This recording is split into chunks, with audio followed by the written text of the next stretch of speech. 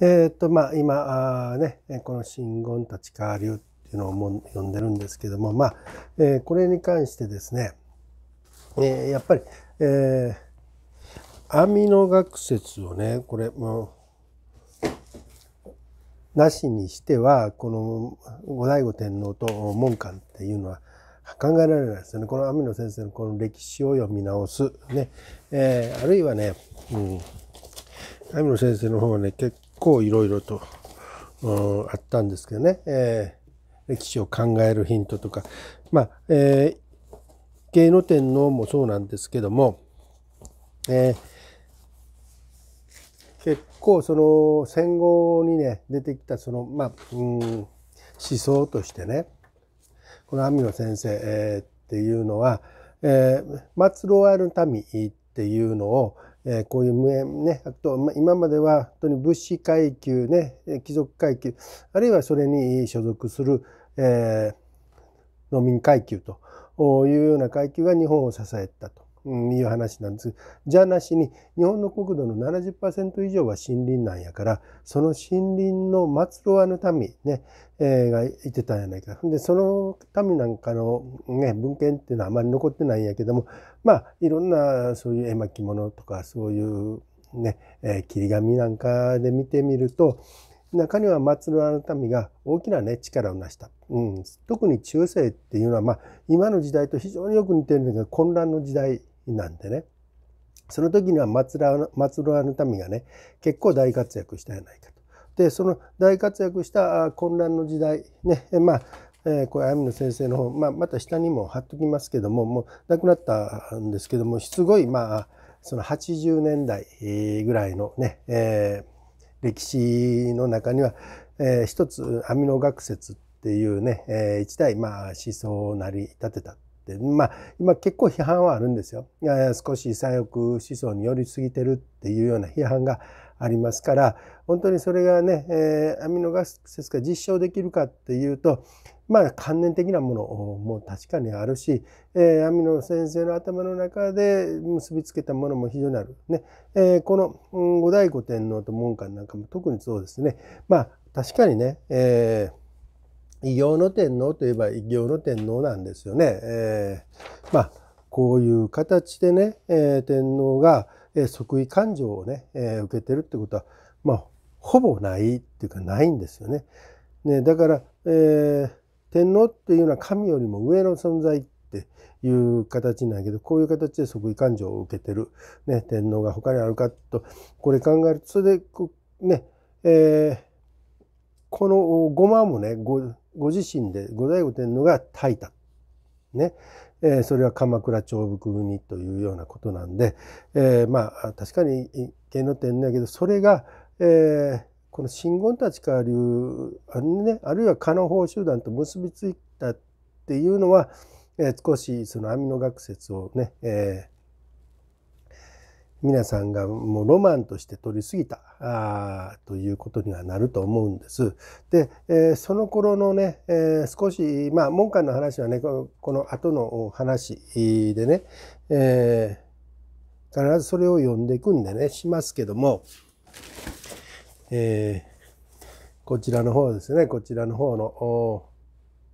えー、っと黒津先生のね本ではしますけどまあ結構ね、えー、いろいろと小説なんでまあ間違った史実もあるんでちょっと正していこうと思ってね。で、えー、門館っていうのはこの1278年ぐらいに生まれたんじゃないかと、うん、言われてます。で、えー、その4年前っていうのは、えー、文永の駅。その4年後っていうのは講和の駅ね。もう日本が海外から攻められてもう騒然としてた時代ですよね。その頃に播磨に生まれね、播磨の北条寺ね、まあそんなに身分は高なかったんでしょうね。えー、寺にね、えー、自重として、うん、自重というか、まあ寺の使ええーえー、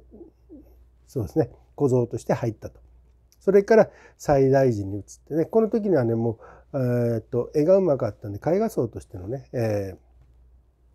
ー、一地位を獲得してたと。それからえこのそのとこエイソンっていうシンゴリス集をね、えまとめたのが最大寺に出て最大寺の復興をね成し遂げたって言われてるエイソンですここれが文英公安の駅でね、え非常にまあ、え法律を発揮したということで最大寺がまあ一番、うんねえ結構その流交流したと。いう時代です。でそこからその縁で、えー、このエイソンも三法院第五次の三法院にいてたんでその縁で第五次に移って、ねえー、第五次の道順から伝法勘定を受けたあということになりますよね。で、えー、そういうまあ第五次最大寺ねこれは立宗ですけどこれはまあ第五次っていうのは真言密教なんやけども、えー、それと同時に、えー、修験道のお寺でもありましたからねだからそういうものをずっとね門下は習ってきてたと。で、えー、それと同時にね、えー、天皇の権威も高かった合田天皇っていうのは、え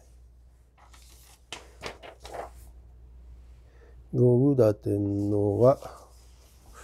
見てくださいね。はい。あ、これ大壁ね。合田天皇ってのは後醍醐天皇のお父さん。なんですけどこの頃は高等鉄律ですから交互交互になってね、えー、人明院党と大覚寺党に分かれてね、えー、行為を争ってたと。ね、この天皇家も殺伐とした時代。その後宇田天皇も本来はこの五人条天皇の一族につけたかったんやけども一応な、えー、その間あということで、えー、後醍醐天皇が入ってきた。ね、その後宇田天皇後醍醐天皇もやっぱりえー、その伊勢神道系の官庁を受けたりとか、ね、即位官庁を受けたりとか密教系の即位官庁を受けてるんですよね、うん、仏教に帰依してますから。で、えー、この時に、えー、即位官庁を受けたのが道順やって言われてます。で、えー、道順に即位官庁を受けたんですけどそれは、えー、陰と抱きにという言葉を携えられた即位官庁うん、でもこの時に後醍醐天皇が、えー、門官から受けた即位勘定っていうのはこの陰とそれから真言ね、えー、真言とそれから抱きに大日如来の真言ですよね。えー、オンサオンパサラ里番やったかな。ね、ちょっとまた間違ったら書きます。ね、えー、という信言を受けたと。うん、いうことになりますんで、えー、なんでわしの息子がそんな信号を受けてんのに、えー、わしはこの印しか受けてないんやというと、まあ2種類あってっていうような説明をね、えー、まあ道順がされてるというような形になって、まあこの頃ってこの真言とか即位感情とか、えー、この知見因とかっていうのはまあまあ言うとそれは最新科学でそれになって原生利益が得られると。いうことがね、えー、まあその人らにとっては発揮してる。だからこのエイソンはね、えー、この神風を起こしてね、えー、文英公園の駅を助けたと。ね、エイソンがごま団を焚いてる時に風もないのに、えー、幕が揺れたとかっていうようなね。だから祈ったら必ず現世利益が得られるよっていうのがこの頃の思想ですから。だから、えー、後醍醐天皇もこの門下ね、えー、立僧であり、えー、真言密教の僧であり原力もある門下を非常に重用したっていうのはうなずけますよね。だからそのね、えー、現世利益を得るために門下を利用した門下も後醍醐天皇を利用した。2人が密接に結びついた。ね、この頃のまあまあ言うと、えー、科学と政治が結びついたようなもんですよね。えー、だからそういう時代背景があったと。でその時代背景っていうのはまあ網野先生この中世の学者なんですが網野先生に言わせれば、えー、非常にまああ混沌とした時代。ねえー、確かにねもう、まあ、今でもね、今の時代がこのコロナから特にですけど混沌とした時代、ねえー、どんな価値観が本当にいいやろって価値観も変わってくる、ね、政治も揺れている、ねえー、そういう時代なんで非常にこの中世の歴史をね、えー、勉強すると面白い。ねえー、ぜひこの中世の歴史それから天皇家の歴史ね、こういう祭るあの民の歴史ねこの頃もう本当に活躍するのが、何も記録に載ってない松呂派の民、ね、それの記録に載ったのが楠木正成であるというようなこともね、少しちょっと頭の中に入れてまた次は、金剛章ねこれが誰なんか。でこれがまあ最初の後醍醐天皇の倒幕計画になるのかどうか、ねえー、そこからまた話していきます。